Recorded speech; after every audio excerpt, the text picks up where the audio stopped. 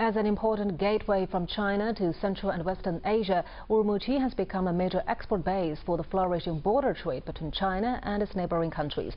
The deadly riot on July the 5th has forced the city's biggest commodity center to close. Now the center has resumed operation and foreign businessmen there believe regular border exchanges will not be affected by the violence. I've been trading with China for two years.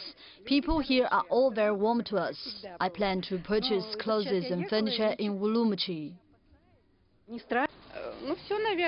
I see signs of recovery in the streets these past two days.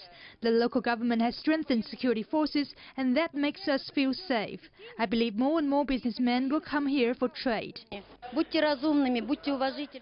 I saw what happened on July 5th. I feel so sad.